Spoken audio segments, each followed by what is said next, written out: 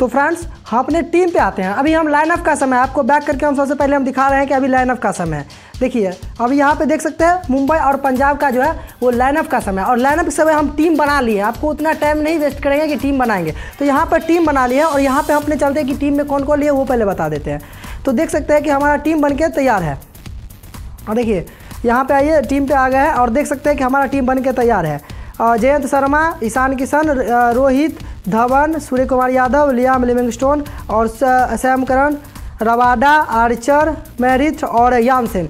इस तरह से हमारा टीम बनके तैयार हो गया। और टीम में आप देख सकते हैं, यहाँ पे देखिए, टीम में क्या है कि हम चार प्लेयर ऐसे लिए हैं जो कि नहीं खेल रहा है। यहाँ पे आप देख सकते हैं कि ये चारों जो रेड जल रहा है, ये प्लेयर नहीं खेल रहा। हम लिए हैं। क्यों लिए पता है कि लाइनअप के बाद खत्म होगा ना तो आपको दिखाएँगे कैसे ऐड होता है। आपका बहुत सारा डॉट है। अभी तीन क्वेश्चन आपको आगे बताऊँगा कि कौन कौन से क्वेश्चन ज़्यादा पूछे जा रहे हैं वीडियो पे।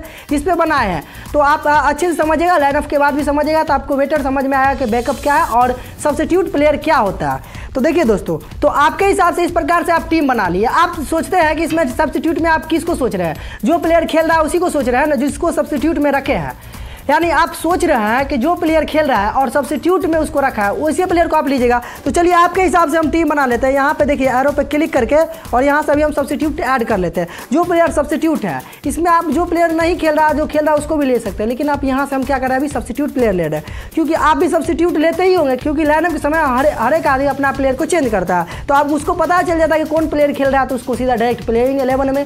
और जो प्लेयर चार जो भी दिया है बैकअप वाला सब्सिट्यूट में, वो चार प्लेयर जो, जिसको सब्सिट्यूट में रखा गया, टीम की तरफ़ से वैसा प्लेयर आप लेते हैं। चलिए हम वैसा ही प्लेयर को ले लेते हैं। तो देखिए, हम सिकंदर रजा को ले लेते हैं, नेथन इल्स को ले लेते हैं।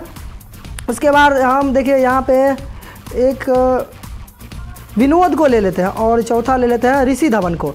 चलिए, ये चार प्लेयर हम ले लिए। आपके हिसाब से चार सब्सिट्यूट ही है। आप यहाँ पे देख सकते हैं कि चारों पे ब्लू जल रहा है। अब अपने टीम पे आते हैं। और देख सकते हैं कि हमारा, देखिए, ये चारों नहीं खेल रहा।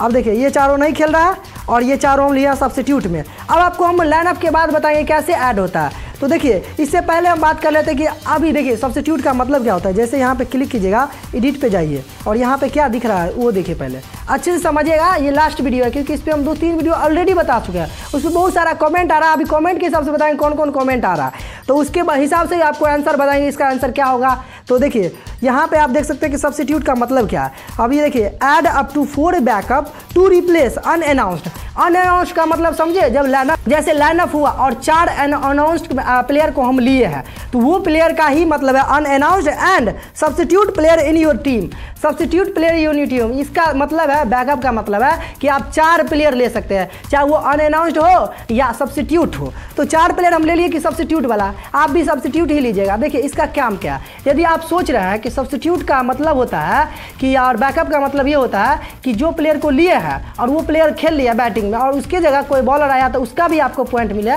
तो सबसे पहला जो ये आप जो सोच रहे हैं, ऐसा कुछ नहीं होता। जो प्लेयर आप खेल रहा है, जैसे आप, हम यहाँ पे अभी बैक कर लेते हैं। टीम पे जाते हैं। आप इस तरह से सोच रहे हैं, जैसे यहाँ पे जैसे आप सोच रहे हैं कि रोहित शर्मा है। अब ये ये तो अभी प्लेइंग इलेवन में है, खेल रहा है, और इसके जगह अभी क्या होगा कि लाइन अप खत्म होगा, या फ़र्स्ट इनिंग में ये बैटिंग कर लेंगे रोहित शर्मा, और उसके बाद ये चले जाएँगे, और उसकी जगह आपके हिसाब से कोई बॉलर ही आ गया। जैसे नेथन इल्स आ गया, या नेथन इल्स को छोड़िए। और कोई भी आ गया, जैसे विनोद आ गया, अब यहाँ पे विनोद को लीजिए। तो रोहित शर्मा बैटिंग कर लिया और उसके जगह विनोद फिर सब्सिट्यूट में आ गया। तो आप सोच रहे होंगे, बहुत सारा बहुत सारे लोग का ये डॉट है कि रोहित शर्मा बैटिंग कर लिया। वो हमारे में था, बैटिंग कर लिया, चाहे दो या चार रन मार लिया, अब आउट हो गया। अब विनोद आया बॉलिंग के लिए, उसी के जगह, उसी के जगह सब्सिट्यूट के जगह पर विनोद आया बॉलिंग करने के लिए। तो क्या उसका पॉइंट हमको मिलेगा, रोहित शर्मा का या विनोद का? तो देखिए, ऐसे सिचुएशन में अगर रोहित शर्मा जैसे फ़र्स्ट इनिंग में बैटिंग करता है और ये बैटिंग कर लिया, इसका मतलब आप समझे? यानी ये बैटिंग कर लिया तो ये आपको विनोद का पॉइंट कभी नहीं मिलेगा। तो केस क्यों नहीं मिलेगा पता है? कि तब आपको क्या होगा कि विनोद का पॉइंट नहीं मिलेगा। क्यों नहीं मिलेगा? क्योंकि रोहित शर्मा बैटिंग कर चुका है। बाय फॉल्ट अगर रोहित शर्मा बैटिंग कर रहा है और बैटिंग आया, वो बैटिंग करने से पहले ही इंजर्ड हो गया, चाहे सेकेंड इनिंग में अगर रोहित एम बैटिंग करे तो पहले तो फील्डिंग करेगा एम आई एम उस समय में अगर रोहित शर्मा इंजर्ड हो गया, और उसके जगह अगर विनोद आता है, आप जैसे सब्सिट्यूट में इसको विनोद लिए, उसके जगह अगर आता है, अगर वो बैटिंग नहीं किया है, अगर बैटिंग कर लेगा, उसके बाद विनोद आएगा सब्सिट्यूट की जगह पे तो आपको विनोद का पॉइंट नहीं मिलेगा। तो किसका मिलेगा? मिलेगा रोहित शर्मा का चाहे वो एक रन मारे दो रन मारे। इतना डॉट तो आपका क्लियर हो गया होगा। देखिए अभी आप आप सोच रहे हैं कि जैसे हम आ, जैसे हम सब्सिट्यूट के लिए हैं तो यहाँ पे आप हम चार अनाउंस क्यों लिए पता है? देखिए, चार अनअनाउंस इसीलिए लिया है, जब लाइन ऑफ़ खत्म होगा ना तो आप जो सब्सिट्यूट को लिए ना तो ये यह ऐड होगा। किस जगह ऐड होगा? जो अनअनाउंस की जगह ही ऐड होता है। आप सोच रहे हैं कि जो प्लेयर खेल रहा है, उसके जगह ऐड होगा, ऐसा नहीं होगा। ये अनअनाउंस्ड प्लेयर है, देखिए अभी लाइन ऑफ़ खत्म होने दीजिए। उसके बाद आपको और बेटर समझाऊँगा। देखिए, यहाँ पर आप सबसे पहले देख लीजिए ये चार प्लेयर अनअनाउंस्ड है और इसको लिए है। और देखते हैं कि ये प्लेयर कैसे ऐड होता है। और आपका ये भी डॉट है कि प्लेयर कैसे ऐड करे। तो देखिए ड्रीम इलेवन में जो होता है, वो प्लेयर ऐड नहीं किया जाता। है। ड्रीम इलेवन खुद प्लेयर ऐड करेगा। और कौन सा प्लेयर को ऐड करेगा? जो अनअनाउंस्ड प्लेयर रहेगा उसके जगह ऐड करेगा। ना कि आप सोच रहे हैं सब्सिट्यूट के जगह। सब्सिट्यूट के जगह प्लेयर ऐड नहीं होता है। तो इतना बात तो आपको समझ में आ गया होगा। हाँ अगर सब्सिट्यूट की जगह कब ऐड होगा? जैसे आप अभी हम उदाहरण दिए और दूसरा उदाहरण आपको दे रहे हैं। जैसे आप यहाँ पे ले लिए हैं जयंत शर्मा को। आप जयंत शर्मा तो बैटिंग करेगा। आपको पता ही है कि बैटिंग करेगा।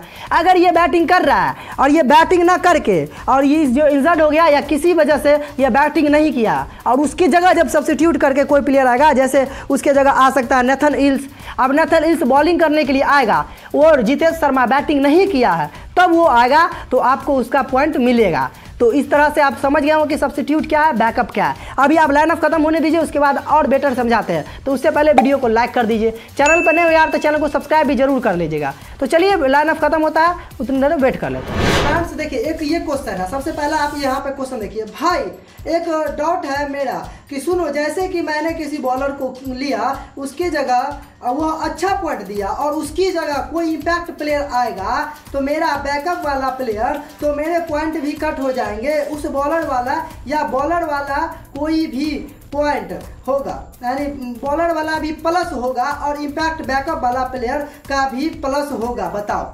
देखिए, इसका कहना यह है कि ये कोई बॉलर को लिए, इससे पहले कोई बैटर को लिए, और वो बैटर भी अच्छा पॉइंट दे दिया, उसके जगह कोई इम्पैक्ट होके फिर बॉलर को लाया, क्योंकि पहले इनिंग में बैटर बैटिंग कर लेता, उसके बाद इम्पैक्ट कर दिया जाता दूसरे इनिंग में।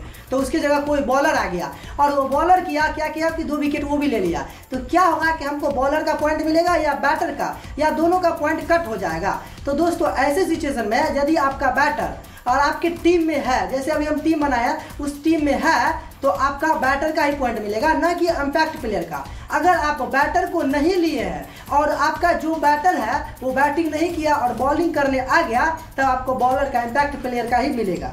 तो देखिए, इस तरह का पहला क्वेश्चन है, दूसरा क्वेश्चन आपको दिखाते हैं। देखिए सब्सिट्यूट बॉलर दो विकेट लेता है और जो सब्सिट्यूट बैट्समैन 20 रन लगाता है तो किसका पॉइंट टीम में दिखाई देगा? देखिए, इनका डॉट ये है। कि जो सब्सिट्यूट बैटर को लिए है वो 20 रन मार दिया। और सेकेंड इनिंग में क्या हुआ कि बॉलिंग आके इम्पैक्ट जो इस सब्सिट्यूट में जो बॉलर को रखे है वो बॉलिंग किया और दो विकेट ले लिया। तो ऐसे सिचुएशन में ही आपको बैटर का ही पॉइंट मिलेगा ना कि इम्पैक्ट मिलेगा क्योंकि बैटर बैटिंग कर चुका है और बॉलर बॉलिंग किया। अगर आप इस बॉलर को रखना चाहते हैं तो आप प्लेइंग एलेवन में ही सब्सिट्यूट वाले बॉलर को भी रख सकते हैं। ऐसा ऑप्शन आता है और वो चेंज भी नहीं चेंज कब होगा? जब आप कोई टीम में अनअवेलेबल प्लेयर को लिए हैं और और इम्पैक्ट में क्या किए हैं कि जो प्लेयर सब्सिट्यूट है, उसको रखे तो उसके बाद वो ऑटोमेटिक ही चेंज करेगा। तो ये आपका डॉट क्लियर हो गया होगा। अब तीसरा क्वेश्चन आपको दिखाते हैं। जो प्लेयर सब्सिट्यूट में है, यहाँ पे देखिए। जो प्लेयर सब्सिट्यूट में दिया है ओनली वही ले आ, ले लेते हैं। बाद में वो किसी को आ, किसी के जगह खेलता है बट उसका पॉइंट नहीं मिलता। देखिए इस भाई का लोग क्या है? जो प्लेयर बैटिंग में लिया उसी का पॉइंट मिल रहा है। और जो सब्सिट्यूट में लिया उसका पॉइंट नहीं मिलता। तो जी हाँ दोस्तों ऐसे ही होता है। जो आप टीम इलेवन में लिए ना उसी का पॉइंट मिलेगा। इम्पैक्ट कब होगा? जो सब्सिट्यूट वाला प्लेयर कब होगा? जब आपका कोई प्लेयर नहीं खेले नहीं बॉलिंग करे या जैसे कोई बॉलर कोई लिया पहले बॉलिंग कर रहा है और वो इंजर्ड हो गया बॉल भी नहीं किया इंजर्ड हो गया उसके जगह कोई इम्पैक्ट प्लेयर बॉलिंग करने आया तब आपको बॉलर का ही पॉइंट मिलेगा। तो अभी क्या किया प्लेइंग इलेवन में आप इलेवन प्लेयर को जो लिया उसी का आपको पॉइंट मिलेगा, ना कि इम्पैक्ट वाले का। तो देखिए, इसका भी क्वेश्चन हो गया। अब देखिए अगला।